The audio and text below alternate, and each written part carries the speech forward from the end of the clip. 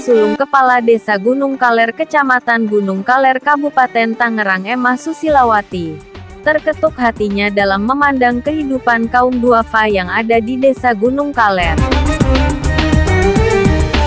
Sehingga Emah memberikan santunan kepada anak yatim dan janda-janda jompo. Minggu, tanggal 20 Maret tahun 2022. Bertempat di kediaman Kepala Desa Gunung Kaler. Tepatnya Kampung Gunung Kidul RT 008 RW 002.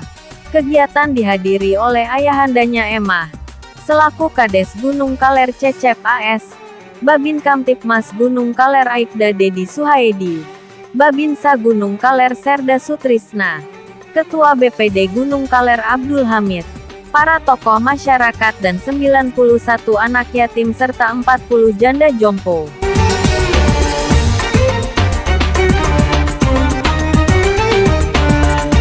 Dalam sambutannya, Emma Susilawati mengucapkan terima kasih terutama kepada kedua orang tuanya yang selama ini telah membimbing dan mengarahkan dirinya untuk menabung sehingga saya dapat berbagi walau ala kadarnya.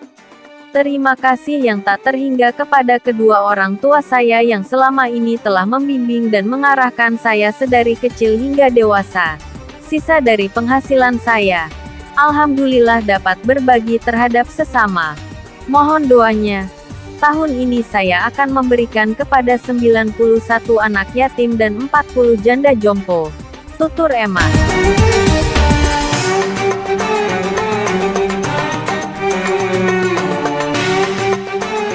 Sementara Cecep AS, selaku orang tua Emma, memberikan sambutan sambil meneteskan air mata. Karena merasa bangga atas inisiatif yang mulia dari putri sulungnya. Untuk melaksanakan santunan yatim dan janda jompo. Jarang terjadi. Kami yang memang dari keluarga sederhana. Tak terasa air mata saya menetes. Atas inisiatif anak saya Emma yang akan menyantuni anak yatim dan janda jompo. Mohon doanya. Semoga Allah memberikan keberkahan kepada kita semua. Karena pribadi saya belum mampu melaksanakan ini. Tapi anak saya bisa. Tandasnya.